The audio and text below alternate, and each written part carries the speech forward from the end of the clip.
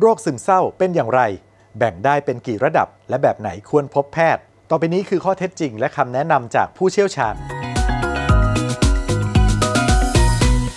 ศูนย์ชัวร์ก่อนแชร์สำนักข่าวไทย อสมท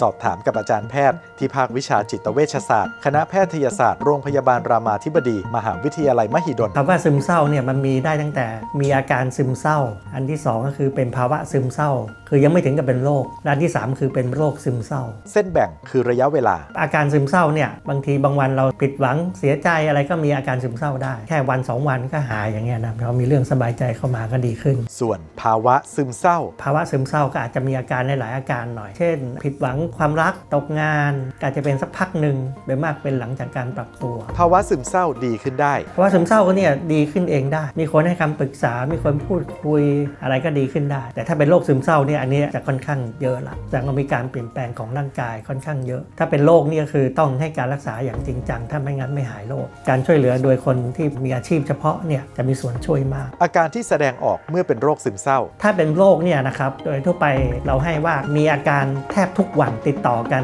อย่างน้อย 2 สัปดาห์ขึ้นไป ก็จะมีอาการเจ็บแปดอาการที่เป็นหลักๆ ของโรคเนี้นะครับ อย่างเช่น ซึมเศร้าร้องไห้บ่อย เบื่อไปหมดอะไรก็ไม่อยากทำเบื่ออาหารผอมลงน้ำหนักลดไป 5-6 กิโลกลางคืนก็นอนไม่หลับสมาธิความจำแย่ลงคิดก็ช้าทำอะไรก็ช้ารู้สึกเพลียเปรี้ยๆไม่มีแรงบางวันก็ลุกขึ้นก็ไม่มีแรงไปทำงาน ไม่มีสมาธิที่จะอ่านอะไรยาวๆ รู้สึกผิด คิดอยากตาย คิดไม่อยากอยู่รู้สึกตัวเองเป็นภาระคนอื่นเนี่ยเขาต้องมีอาการประมาณเนี่ยรวมๆกัน 5-6 อาการนะแล้วก็นานเกิน 2 สัปดาห์ขึ้นไป เป็นแทบทุกวัน เพราะฉะนั้นถ้าเป็นวัน 2 วันแล้วก็หาย อย่างนี้ไม่เป็นโรคนะเป็นแทบทุกวัน ส่วนใหญ่ถ้าเป็นโรคซึมเศร้าตื่นเช้ามาเขาจะรู้สึกแย่นะ ตื่นเช้ามารู้สึกโอ้ตื่นมาอีกแล้วเจอเรื่องปัญหาอีกแล้วอย่างเงี้ยนะฮะสายๆจะดีขึ้นหน่อยอา มีคนมาคุยก็ดีขึ้นหน่อยตอนบ่ายๆก็เริ่มแย่ลงอีกอย่างเงี้ยบางวันก็วันนี้ก็ดีหน่อย แต่ก็ยังเศร้าๆเบื่อๆเรียกว่าเป็นแทบทุกวัน แล้วอาการซึมเศร้าหรืออาการเบื่อหน่ายเนี่ยเป็นแทบทั้งวัน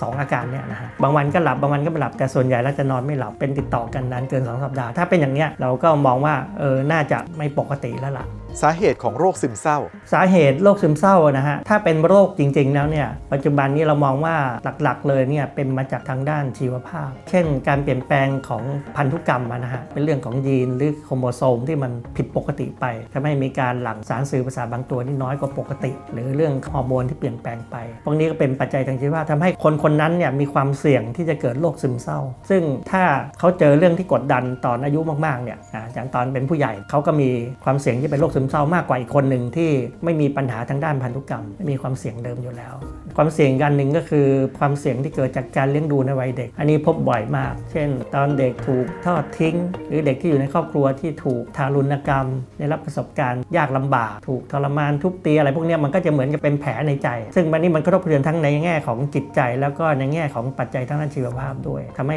สมองเหมือนกับเรื่องระบบสารต่างๆ มันรวนไปนะพอ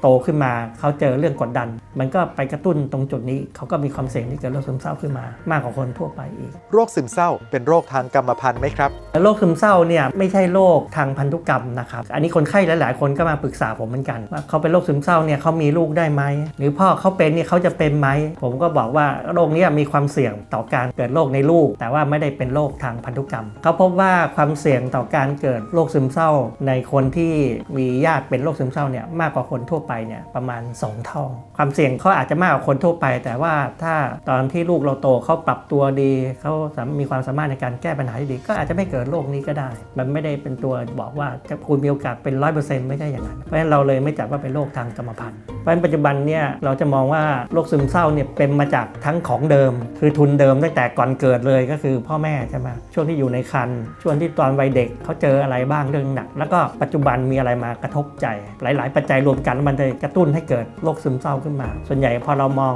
ซักประวัติมองย้อนหลังไปเนี่ยส่วนใหญ่ก็คือมีปมมีอะไรมาพอสมควรนะหากเป็นโรคซึมเศร้า ควรจะเยียวยาและดูแลตนเองอย่างไร หรือเข้ารับการรักษาแบบไหน ติดตามได้จากชัวร์ก่อนแชร์อีกตอนหนึ่งนะครับ ยังมีอีกหลายเรื่องน่าสงสัยบนสังคมออนไลน์ หากได้รับอะไรมาอย่าเพิ่งแชร์ต่อ ร่วมตรวจสอบไปด้วยกันกับชัวร์ก่อนแชร์ชัวร์ก่อนแชร์ เช็คให้แน่ แชร์อย่างมั่นใจ สนับสนุนโดย กองทุนพัฒนาสื่อปลอดภัยและสร้างสรรค์ สื่อสร้างสรรค์เพื่อการเปลี่ยนแปลงสังคม